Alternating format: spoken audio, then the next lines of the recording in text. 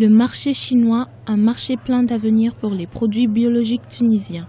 Avec une population de 1,4 milliard d'habitants, la Chine est un marché prometteur pour les produits biologiques tunisiens, notamment l'huile d'olive. Lors du séminaire sur les exportations des produits biologiques tunisiens qui s'est tenu lundi 9 mai 2016 à Tunis, Bian Yanhua, l'ambassadeur de la Chine en Tunisie, expliquait que la demande pour cette denrée dépasserait largement l'offre sur le territoire chinois. Ce que la Chine veut développer avec la plupart de nos pays, c'est euh, l'exploitation judicieuse de nos choix agricoles. Donc il y a des domaines euh, qu'il faut trouver et dont l'industrie bio qui est, importante et euh, il faut se spécialiser en fonction des marchés.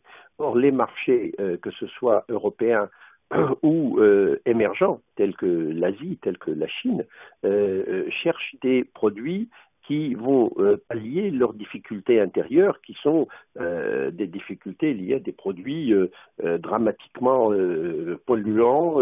cette rencontre tuniso-chinoise euh, à propos d'un produit qui est de plus en plus demandé, le, produit bio.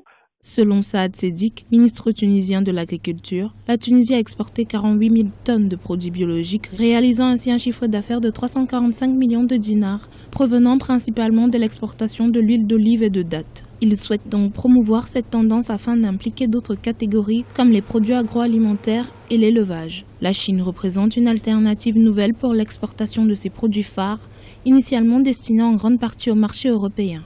N'est pas seulement de les produire, il faut les produire ainsi, mais il faut aussi mettre en place les circuits de distribution.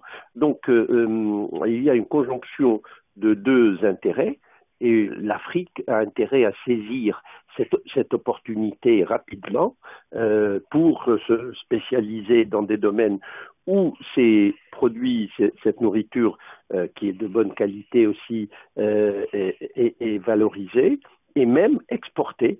Et c'est ce que la Chine voudrait faire. L'État tunisien compte prendre en charge le coût de l'export des produits biologiques afin d'encourager les investissements dans ce secteur.